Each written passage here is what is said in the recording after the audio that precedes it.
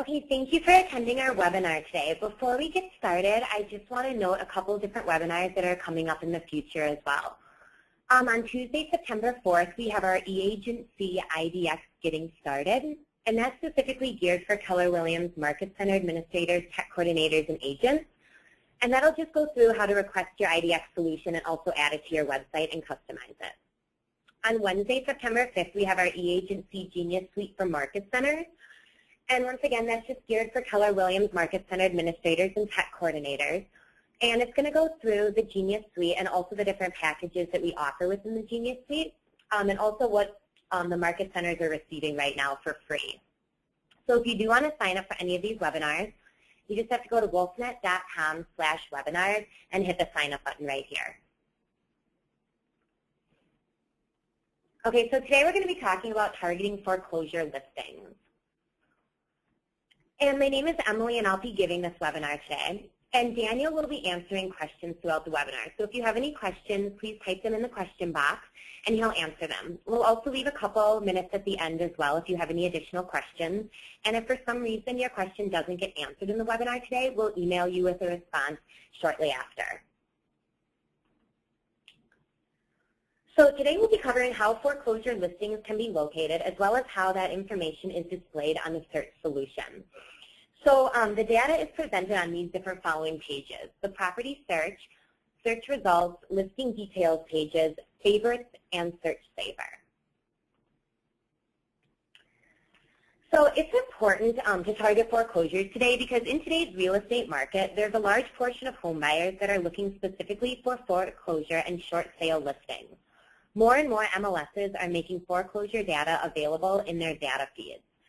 So targeting these um, types of listings allows you to provide a value-added service to your property search.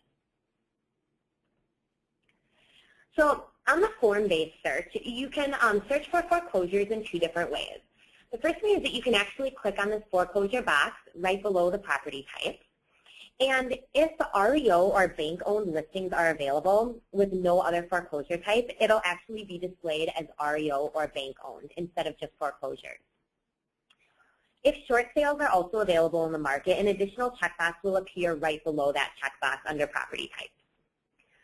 Um, the other way to search for foreclosures is by changing the search criteria at the top of the page and clicking on foreclosures. That will also restrict your listing results to just foreclosures. And once again, if short sales are available, that short sale checkbox will appear on the foreclosures search page under the property type. So if you've opted to add MapTracks to your search solution, um, you can also search for foreclosures in the same ways as you did with just the search solution. So you can click up here on foreclosures or also in this checkbox right below property type. If the foreclosure search type is selected, the map will display only foreclosure listings, regardless of the search parameters that you've entered on that search page. And once again, as with the form search, the short sale checkbox, um, if available, will be displayed underneath the property type. So on the search results page, there are three different possible banners that can be displayed. So you can either have a foreclosure banner, REO or bank owned, or short sale, depending on the property um, and depending on the listing. On the listing details page, the foreclosure banner will be displayed in the lower right-hand corner of the picture for each listing that's a foreclosure. And also on the listing details page, um, there's the overview text below the listing or below the listing picture. And once again, that different type of foreclosure will be listed right next to the property type in the overview section. On the favorites page, you'll see the banner right here as well. And I also want to note that the star designates that it's a favorite.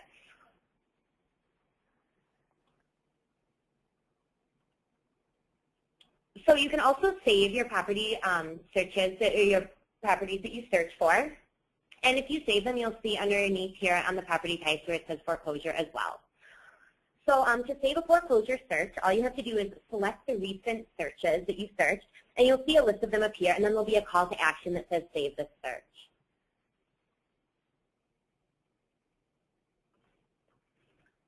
So custom URLs that target foreclosures can be created and placed on your website. This creates a direct links to foreclosure listings in your market without having to go through the search solution. So this allows for foreclosure-specific marketing on your website.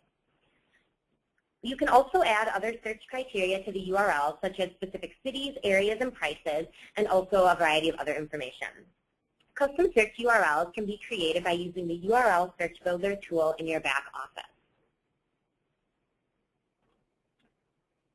So that concludes our webinar for today. Thank you for attending. Um, if you do have any additional questions after the webinar um, or you want some more information, you can contact us by any of these different methods. Um, and also don't forget to sign up for other webinars. Um, and like I said, if you just go to wolfnet.com slash webinars, you can sign up there. And now we'll just take a couple minutes for questions. Thank you.